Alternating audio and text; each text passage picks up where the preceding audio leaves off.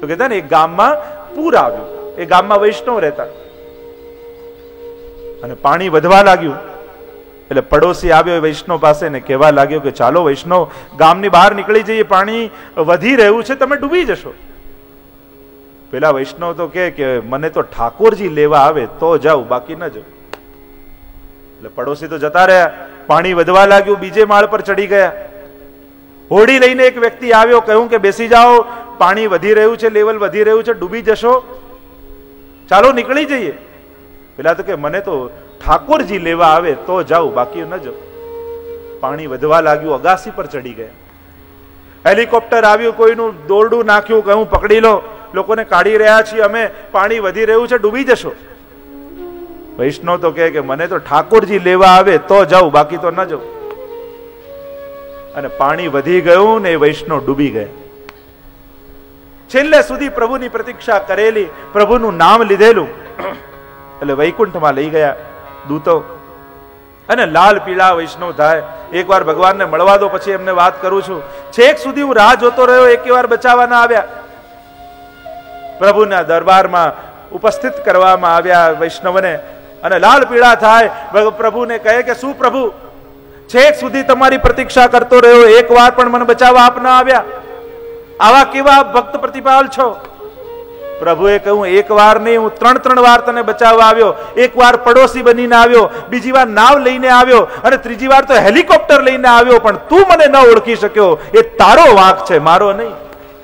એમ જરૂરી નથી કે પ્રભુ પીતાંબરને ને મોરપીછ મુગટ ધારણ કરીને જ આવે. એ કોઈ પણ સ્વરૂપે આવી શકે. ઓળખવાની આંખો આપણી હોવી જોઈએ. ઓળખવાની દ્રષ્ટિ આપણી અંદર હોવી જોઈએ. અને એ દ્રષ્ટિ ભાગવતજી આપે છે. સાક્ષાત પ્રભુની પ્રાપ્તિ કરાવી દે ભાગવતજી. અને ભાગવતજીનું શ્રવણ કરો એટલે સાક્ષાત ઠાકોરજી તમારે ત્યાં પધારે. અતિરે આનંદ ભર્યા આવો મારે રંગે.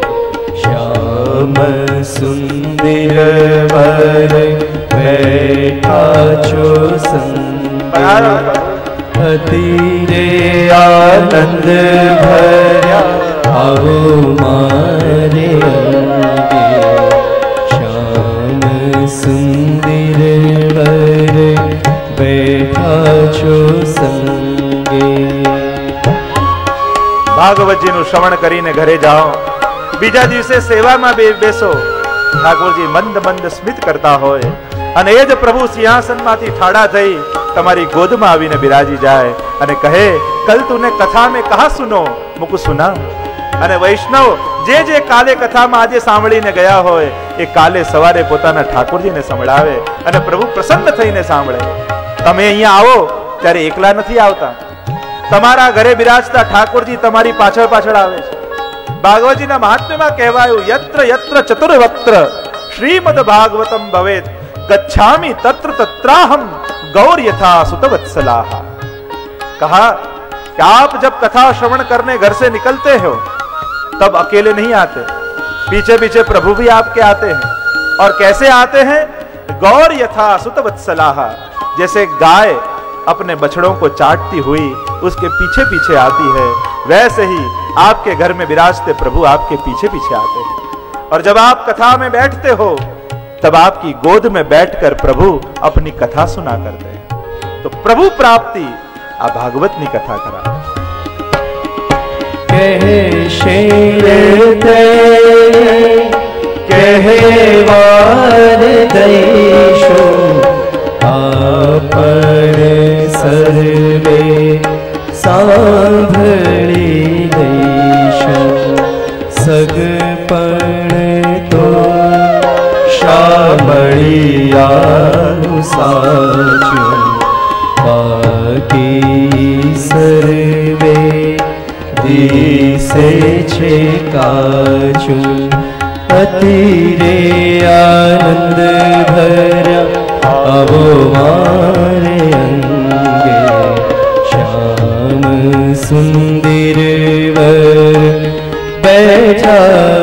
સંગે ભાગવતજી, તમને એવી અલૌકિક દ્રષ્ટિ આપશે. અહીંયા પ્રભુની લીલાઓનું શ્રવણ કરીને જશો, તો એ જ લીલાઓ ઘરે ઠાકોરજી કરી રહ્યા હોય એવો અનુભવ થશે. આ બીજા કોઈ ઓર ભગવાનની કથા નથી. દરેકે એ રીતે સાંભળવાનું છે કે રોજ જેની હું સેવા કરું છું, એ જ ઠાકોરજીની કથા અહીંયા થઈ રહી છે. મારો લાલન ઘરે તો કેવો નાનકડો બનીને બેઠો છે, પણ એ જ પરમાત્મા કેવી કેવી લીલાઓ કરે.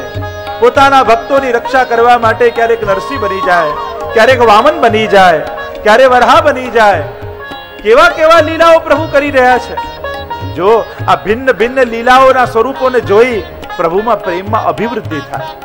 તમારું નાનું બાળક હોય, સ્કૂલમાં ફેન્સી ડ્રેસ કોમ્પિટિશન હોય, અને એ તમે નાના બાળકને પોલીસનો ડ્રેસ પહેરાવો. કોઈ એને સિંહ બનાવે, કોઈ એને સંત બનાવે અને આવા જુદા જુદા વેશ ધારણ કરેલા પોતાના બાળકને જુઓ તો વધારે વાલું લાગે. વધારે એના પર પ્રેમ આવે.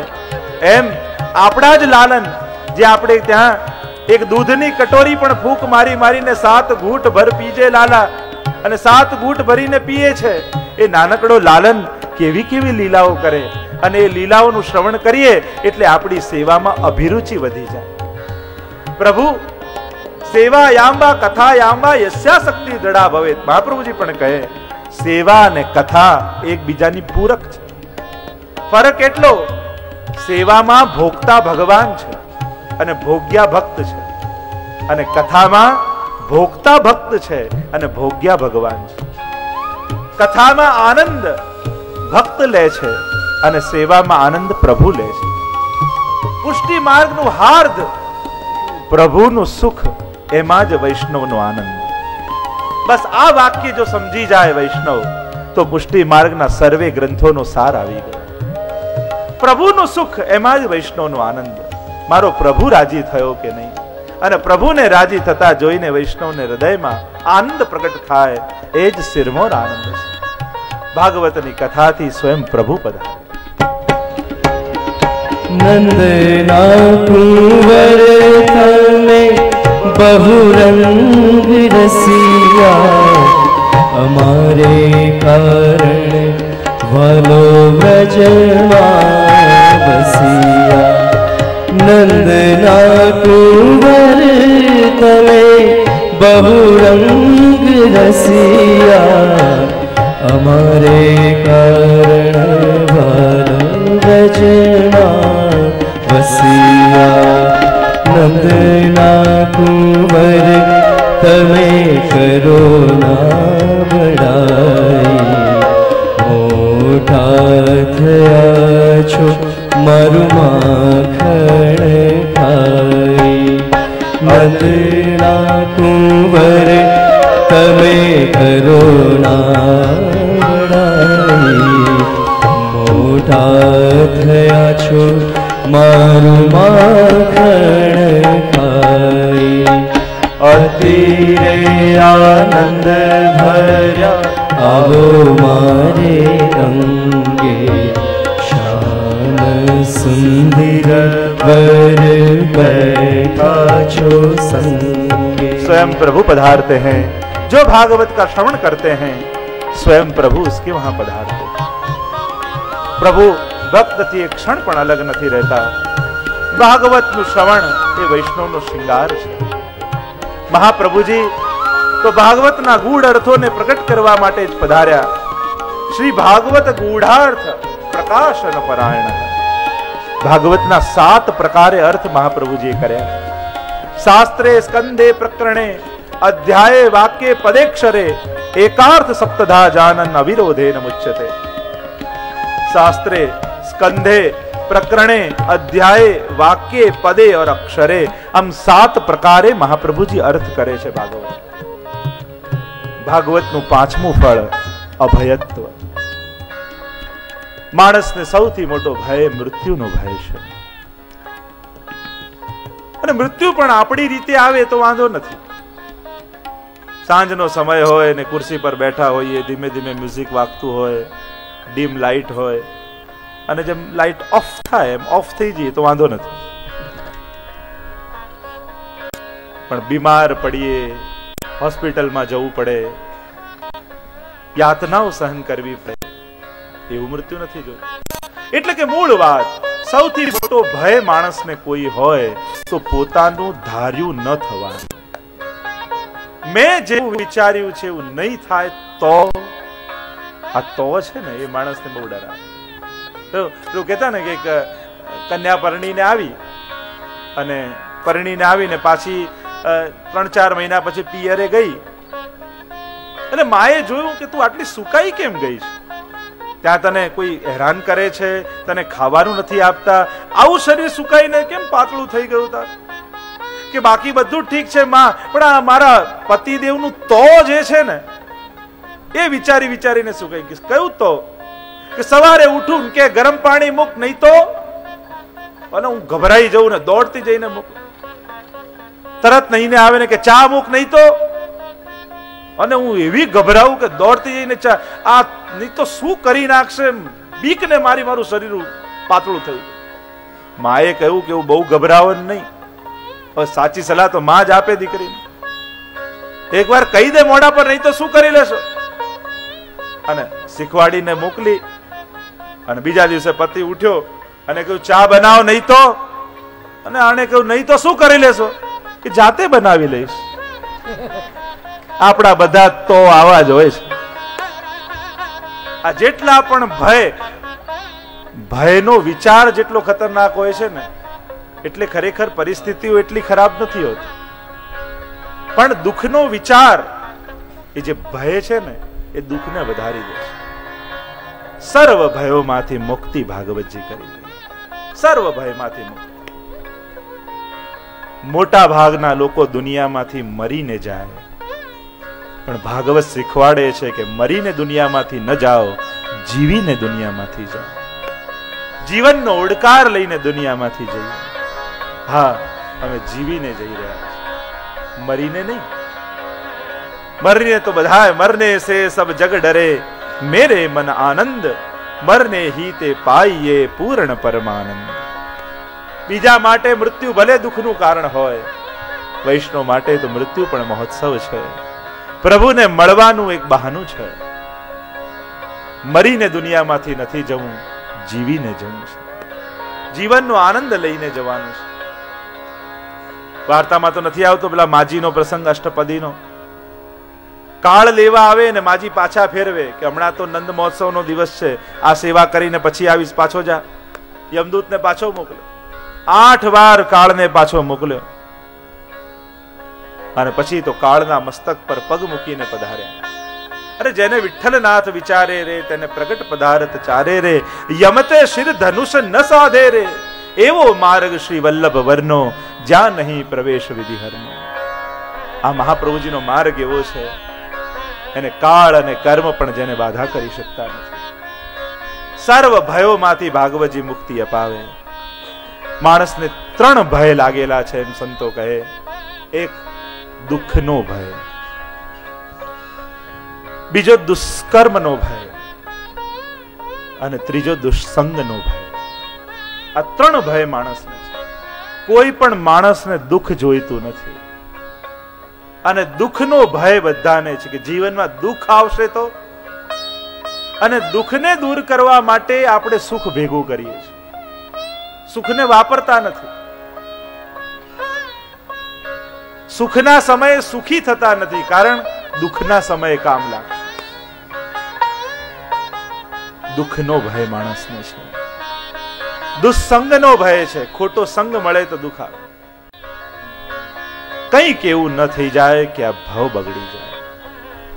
ભય રાખવો હોય તો દુઃખનો ભય ન રાખો, પાપનો ભય રાખો. કારણ કે દુઃખ પાપને કારણે આવે છે. જો ભગવાનની વ્યવસ્થા કેવી છે? આપણે બધા જ પૈસા ભેગા કરવા માટે પાપ કરીએ છીએ. પૈસા ભેગા કરવા માટે પાપ કરીએ, પણ મરી જઈએ તો પૈસા અહીંયા રહી જાય ને પાપ બધા ભેગા આવે. પ્રભુની વ્યવસ્થા જ કેવી છે? પૈસા માટે પાપ કરીએ, પણ મરી જઈએ, તો પૈસા બધા રહી જાય. અને કરેલા કર્મો પાપ બધા જ ભેગા સાવધાન રહેવું. ડરવું હોય તો પાપથી ડરો. અપરાધથી ડરો.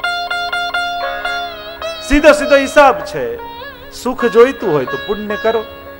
અને દુઃખ જોઈતું હોય તો પાપ કરો. આપણા બધાની તકલીફ એ છે કે લીમડાના બીજ વાવવા છે રાહ જોઈને બેઠા કે આમાં આંબો ક્યારે આવે ક્યારે આવે ક્યારે આવે. બીજ વાવીએ લીમડાના અને રાહ જોઈએ આંબાની, તો સંભવ નથી. એમ પાપ વાવ્યું છે તો દુઃખ જ ઉગવાનું છે. પુણ્ય વાવ્યું છે તો સુખ ઉગવાનું છે. અને કલયુગમાં તો ભગવાને એટલી અનુકૂળતા કરી દીધી છે. પાપ વિચારો ને તો એનું ફળ નહીં મળે. કરશો તો જ ફળ મળશે. પણ પુણ્ય તો કલયુગમાં વિચારશો ને તોય ફળ મળી જશે. અને એનું પ્રમાણ શું? આપણી રાખેલી માનતાઓ. આપણે માનતાઓ રાખીએ ને? બસ આટલું કાર્ય થઈ જાય ને એ ગિરાજ બાવા, તારી પરિક્રમા કરવા આવીશ અને છપ્પન ભોગ આરોગાવીશ એટલે હજી છપ્પન ભોગ કર્યો નથી. પણ પુણ્ય વિચાર્યું છે તો એ ઠાકોરજી સઘળા કામ કરી આપે પુણ્ય ખાલી વિચાર્યું, તો એનું સારું ફળ મળી જાય. અને આપણું કાર્ય થઈ જાય ને પછી જઈને છપ્પન ભોગ કરી તો પાપ વિચારશો તો ફળ નહીં મળે, કરશો ત્યારે ફળ મળશે. અને પુણ્ય તો ખાલી વિચારી પણ લેશો ને તોય કલયુગમાં એનું ફળ મળશે. એટલે હંમેશા સારું વિચારો.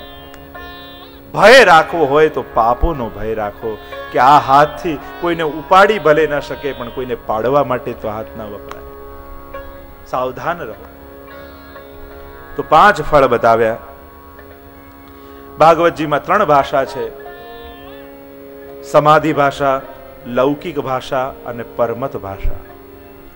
મહાપ્રભુજી બતાવે કે આ ત્રણ પ્રકારની ભાષા ભાગવતજીમાં છે. અઢાર હજાર શ્લોક છે. પણ ભૂદેવોના અધ્યયન માટે જો ગણવા જશો, તો ચૌદ હજાર સમથિંગ થશે, અઢાર હજાર નહીં થાય. એની ચર્ચા પછી ક્યારેક લઈશું. પણ અઢાર હજાર શ્લોકો કઈ રીતે ભાગવતજી? ત્રણસો પાંત્રીસ અધ્યાય. ભગવાનના રોમ રોમ છે એક એક અક્ષર. આવો ભાગવતજીના મહાત્મ્યમાં પ્રવેશ કરી ભાગવતજીના મહાત્મ્ય છ અધ્યાયમાં વર્ણન કરવામાં આવ્યું. છ અધ્યાય એટલા માટે? કારણ કે બાર સ્કંદ છે ને, તો બે બે સ્કંદોનો એક એક મંગલાચરણ. તો છ અધ્યાયમાં મંગલાચરણ કરે. મહાત્મ્ય બતાવે. યા છ અધ્યાય એટલા માટે કે ભગવાન, ધનવાન, યશવાન, જેની પાસે ધન છે ધનવાન, તો જેની પાસે ભગ છે ભગવાન. તો ભગ કોને કહેવાય? ઐશ્વર્ય, વીર્ય, યશ, શ્રી, જ્ઞાન અને વૈરાગ્ય. આ છ ધર્મોને ભગ કહેવાય. આ ભગવાન આ છ ધર્મ વાળા છે એટલે એમને ભગવાન કહેવાય. તો છ ગુણ, છ ધર્મ ભગવાનમાં છે. તો આ દરેકને એક એકમાં મહાત્મ્ય કહ્યું, એટલે છ અધ્યાયમાં મહાત્મ્યની કથા કહી. મહાત્મ્ય સેના માટે જાણવાનું? કારણ ભગવાન જોડે વ્યવહાર કરતા આવડે. ભગવાનમાં ભાવ દ્રઢ થાય એટલા માટે. કારણ કે ભક્તિની વ્યાખ્યા જે કરવામાં આવી, મહાત્મ જ્ઞાન પૂર્વસ્તુ સુદૃઢ સર્વતોધિક સ્નેહો ઇતિ ભક્તિ. ભક્તિ કોને કહેવાય? કીર્તન કરીએ ભક્તિ, પાઠ કરીએ ભક્તિ, સેવા કરીએ ભક્તિ. ભક્તિ એટલે શું? તેની વ્યાખ્યા વ્યાસજી બતાવે કે મહાત્મ જ્ઞાન પૂર્વસ્તુ મહાત્મ જ્ઞાન પૂર્વક સુદૃઢ અને સર્વથી અધિક સ્નેહ એનું નામ ભક્તિ. તો સૌથી પહેલા પ્રભુનું મહાત્મ જ્ઞાન જાણવાનું કે ભગવાન કોણ છે? હું જેની સેવા કરી રહ્યો છું એ કોણ છે? ભગવાનને નહીં સમજો ને તો ક્યારેક એમનામાં અભાવ આવશે. પ્રભુની લીલાને, પ્રભુના સ્વભાવને, પ્રભુના સ્વરૂપને આ ત્રણેયને સમજો તો ભક્તિ દ્રઢ થાય.